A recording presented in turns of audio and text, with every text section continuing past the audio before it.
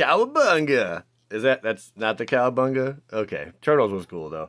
All right, hey everyone, thanks for tuning back in. I'm Joey Moss with Bad Boy Gaming. Uh, switched up the LGS today.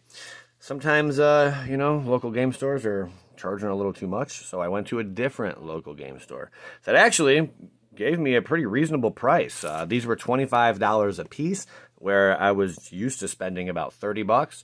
And uh, they also included uh, a booster pack for each one of these that I purchased. That is freaking amazing.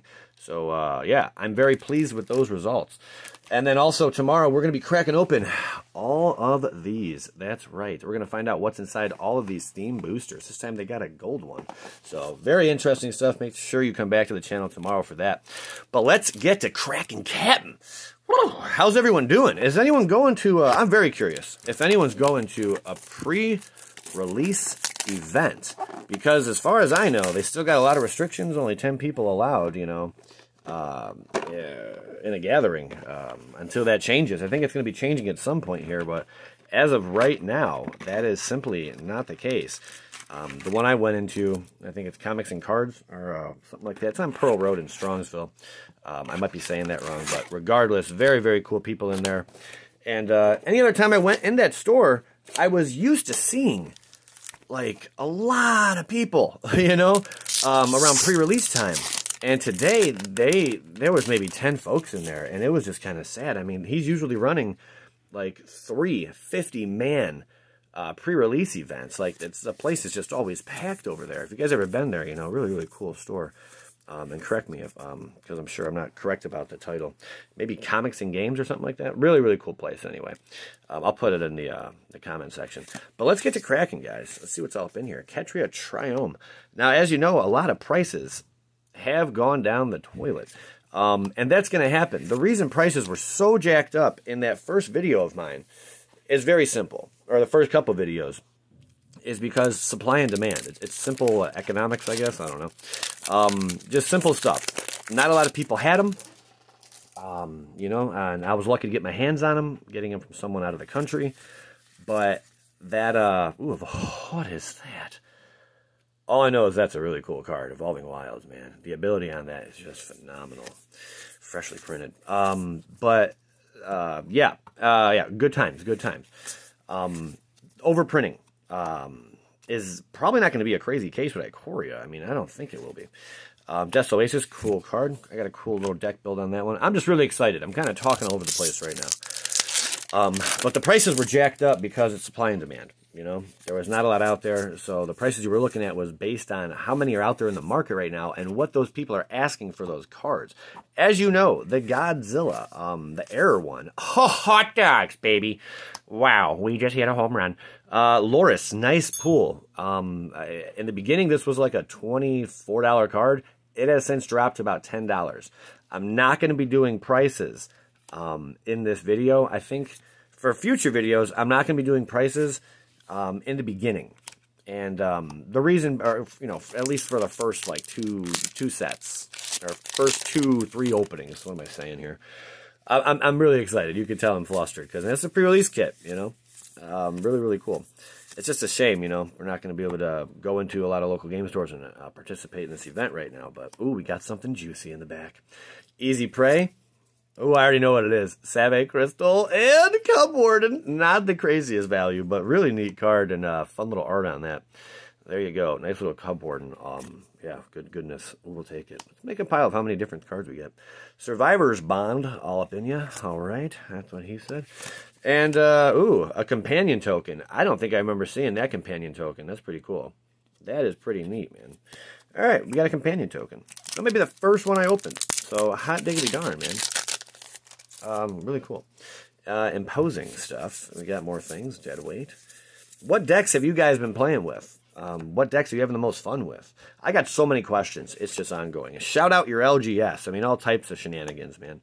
Um, yeah, for sure. Because uh, right now they need support for darn sure. Dire Tactics up in here. Archipelagore. Yeah, that's a fun card, huh? An eerie ultimatum. A lot of fun uh, ultimatum builds are being thrown about out there. Really, really cool. And we got uh, this guy and that guy, Human Soldier. They came a long way with these tokens. I will tell you that. I am very impressed with uh, the tokens. Um, There's no denying that, my friends. The tokens have come a very long way. Uh, wow, pre-release kit. Um, I couldn't even tell you what deck I'd build if I was participating in an event using this, um, using this kit right here. Reconnaissance mission. Good old Moloch. Look at the art on that guy. Fun times.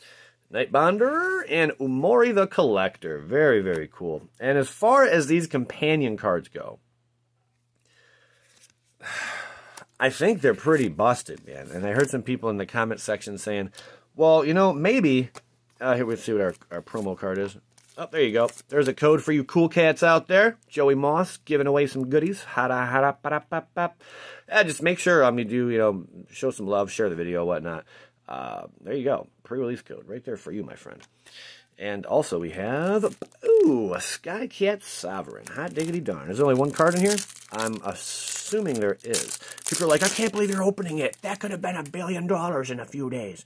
Um, yeah, I don't care. There you go. Skycat Sovereign in all of its glory. Nice foil shine.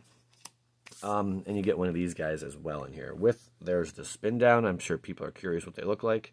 Now you know, my friends. All right, moving along like King Kong. No pun intended. Maybe we'll pull them. All right, cracking the next one. And we still got four loose booster packs in the back. That's going to be exciting, too. There we go. Let's get this slipping over here and get this cracking up here. I wonder, I wonder what's going to be our blunder. Oop, we got a pack right there. I'm going to move this over here. This guy, here's what the divider looks like. And then we got some booster packs. This one, surprisingly, is also blue. Can we roll an 8? No, we rolled a 1. That's right. We rolled a freaking 1. Unbelievable. But yeah, um, share the video for sure if you guys do enjoy it. A lot of people haven't seen what's all inside of these kits yet, and uh, I'm sure they wouldn't mind seeing them. So there you go. Evolving Wilds. Man, this card is just phenomenal, man. Hope they never reprint it. I'm sure they won't. It'll probably never be reprinted again. Primal Empathy with Avian Oddity, Breacher, and Obosh. Another companion. I find these companions to be completely busted. You're basically allowed to start the game with an additional card in your hand.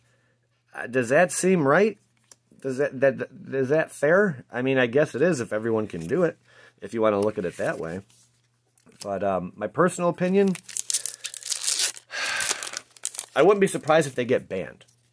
I mean, you're legit. I, get their stipulations with each, with each one, but I mean, even if you branch outside of standard, you know, it's uh, it doesn't take too much to build a very very powerful deck based around one of these companions. You know, um, Everquill Phoenix, cool card. I like that it keeps coming back. I really do. Very very fun card to play with, man. Well, it, it can come back, you know, if played correctly. Uh, a Swampy and a Dinosaur Beast out the back. But um, yeah, I I don't I don't know if they're ever going to do companions again. I, I think um, we're all realizing now they are extremely busted cards. Wow, some guys have all the luck, huh? And uh, decent, uh, decent pack here, right here. A lot of uh, control aspects and uh, shutting down things. Um, I like them, but I don't. Here's a fun card. If you haven't seen my deck techs yet, um, I made a lot of builds already. And this is this guy's in, I think, one or two of them. Very, very fun card uh, to play with, nonetheless. Um, yeah, good times. But uh, what are your thoughts? You guys think it's busted? You think they should stick around? Uh, you think they should make more companions in the in upcoming sets? I mean, I highly doubt it. People in Commander are kind of like blown away that now you have 101 cards in a deck, basically. And you can start, um, you know, you can have a companion as your uh, yeah, you can have a companion in the game as well with Commander. Crazy rules. This card is really obnoxious. That card's really fun to play with. Got the Force and another Triome. These lands, I'm sure, have tanked in value, probably like a dollar to two dollars a piece at this point for the non-extended art versions of them. Um, really, all the money lies in like collector packs and uh, the extended art and all that other stuff. You know, that's really where all the all the dough is at in these. But nonetheless, still a blast to open. Um, Flourishing Fox. Ooh, Auspicious Starix. That's cool. I like seeing that. Very, that's one of my favorite cards to play. It really is. I do enjoy that a lot. Uh, we have a Necropanther, followed by a Ruinous Ultimatum. All right, not bad, not bad. And a Foil Mythos of Luna. Pretty cool. People have any luck with these Mythos, or is it Mythos? Mythos, the Fresh Maker? Yeah, whatever. But nice little foil action there. We'll take it. We're doing these, my friends. We're doing these. Down to one pack to crack here. See what we get. I'm excited with what I pulled out of the uh, the booster box. I mean, um, the owner just had a, a, booster box sitting there, and yeah, for every kit you buy, you get a you get a booster pack. I'm like, that is a great deal. Cool little cavern whisperer there, whispering caverns. Um, very blown away by that, indeed. But the hype is all real, and um, it's just a shame you can't really go out and play, you know. Ooh, there he is, my dude, right there, hanging out. Hot diggity darns, man. Kogla the Titan Ape in all of his glory. Fun stuff. Channeled Force. Bada bing. In all of its foilness. Not bad. I don't know why. I keep getting this like feeling like I want to open a masterpiece, you know? What do we got here? Oh, if that's not a masterpiece, I don't know what is. Luminous Brood Moth showing up, baby. Woo!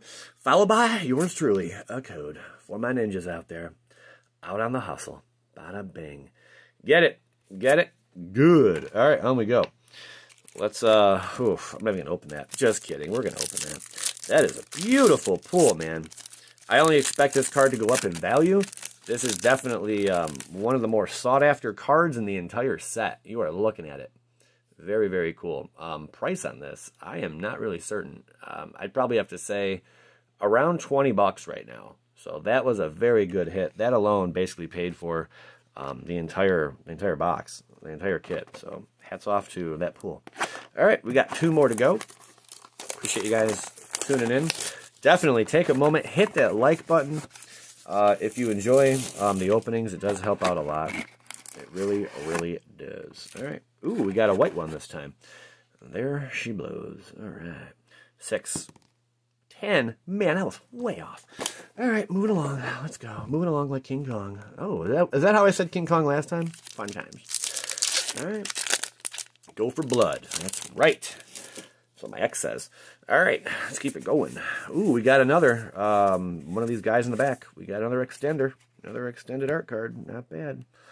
Void Reckoner. Beckoner, sure. This guy. Ooh, Pollywog Symbiote. And a Gemrazor. Cool card. Cool, crazy art right there. That's straight out of a comic book action right there. Man, awesome pool. We'll take it. And a foil planes to close her out. Not bad. And a mountain. And a dinosaur. A lot more stuff behind there. We didn't really realize. Wow. Not bad. We are doing pretty good.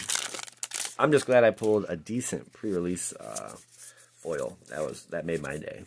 That made my day. Huntmaster a Liger coming out the gate. All right, that goes in this pile. Auspicious Starks again. The Slither Whisper. That's right. What do you guys think of the flash decks? Have they been uh, doing a whole lot? I don't know how competitive they've been. I know there was a lot of hype around them in the beginning, and I know they still hold up, you know, some decent weight.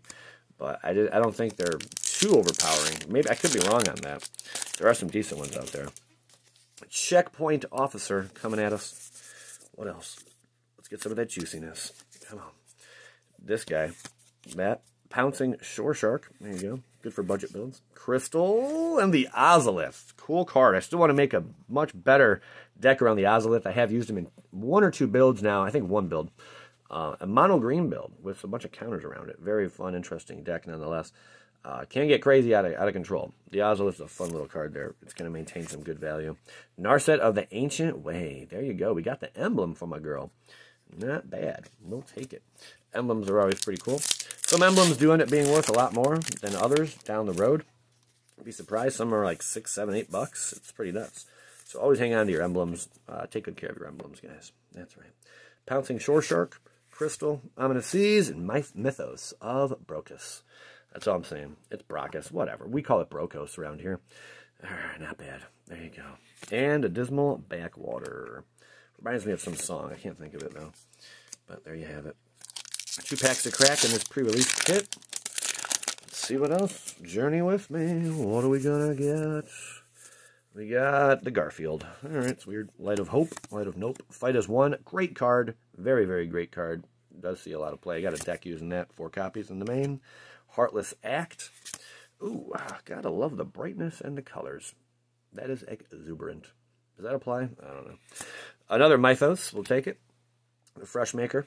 And uh, Swampy with a human soldier in the back jack. Bada, bada, bang. Whoosh. All right. Let's see what we got here. We are down to just a few. Just a few. Charge of the Forever Beast. All right, good stuff. Lockdown, Grammy. Hunted Nightmare. Look how those two went together. Good old Menace builds. Menace is just not there. Um, I've dabbled with Menace. A lot of people have asked me to make a Menace deck. There's only so much you could do with Menace.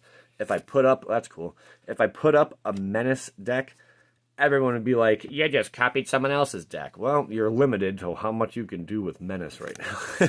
There's only so many good options you can roll with with Menace right now. It's that simple. Um, I guess this goes over here in the foil pile. What do we get for our cool card here, huh? Oh, a Shark Typhoon. That's probably going to hold a nice little value, too, down the road. Not bad at all. Shark Typhoon up in the piece. Hot diggity dogs. We will take it. Cool card. And then our code for you guys and gals. Bada boosh. Right there. Not bad at all. I dig it. If you do end up redeeming these, let me know in the comments as well. It's pretty cool. Um, yeah, for sure. All right, another one of those, another one of these. Got one of those. I will open this up just so I can throw it in my pile. Make it in my pile. Everyone's got some nice little piles out there. There's my pile. All right, moving along. All right, we got one more kit here, baby. One more kit and four packs in the back. I was trying to make the kits an average of five minutes a kit. I think I did pretty good. We will see. We will see. Here we go. Here we go. Any cards you're really excited to pull in this? I'd love to hear about it. I would love to hear about it. We all know what that is. I think you can see it.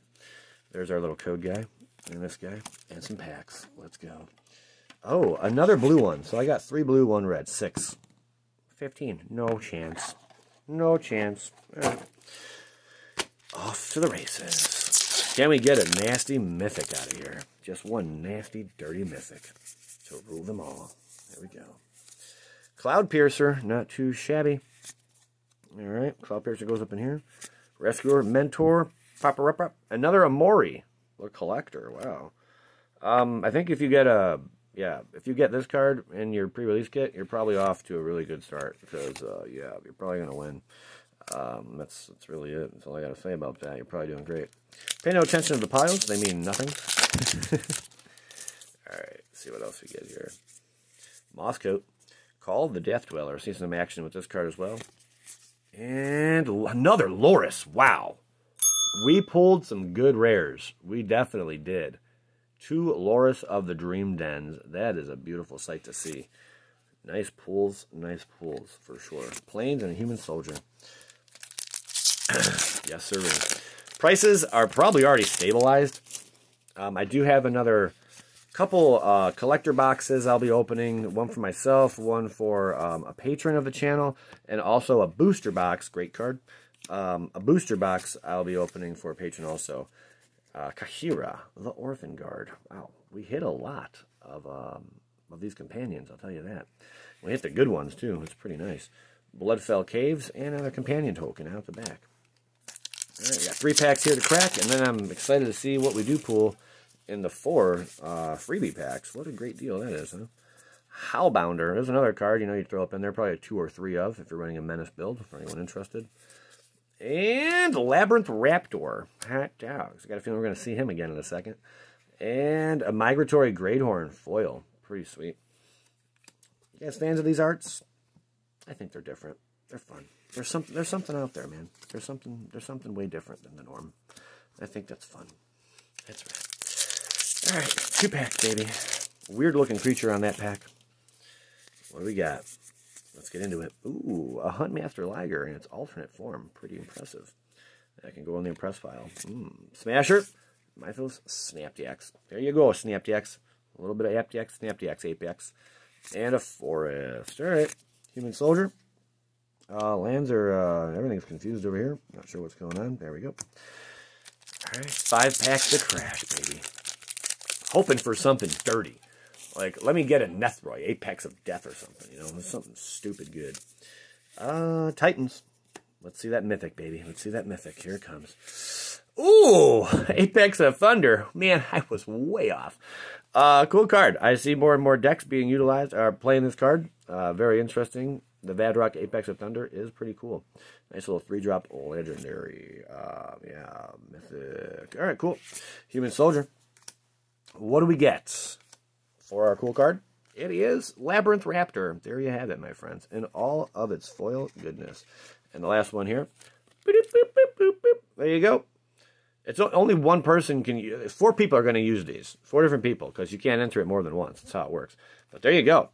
There you go, my friend. Glad to help.